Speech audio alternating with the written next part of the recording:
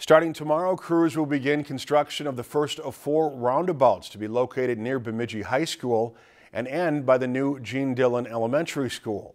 The Beltrami County Highway Department says that the process will be completed in sections, with crews first tearing apart some of the roadway. The agency consulted with a traffic engineering expert that determined a roundabout would be safer than four-way stops or traffic signals.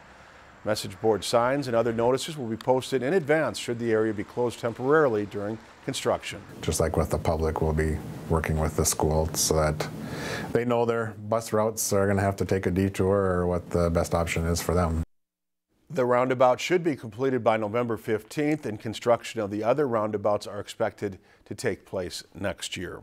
If you've enjoyed this segment of Lakeland News, please consider making a tax-deductible contribution to Lakeland Public Television.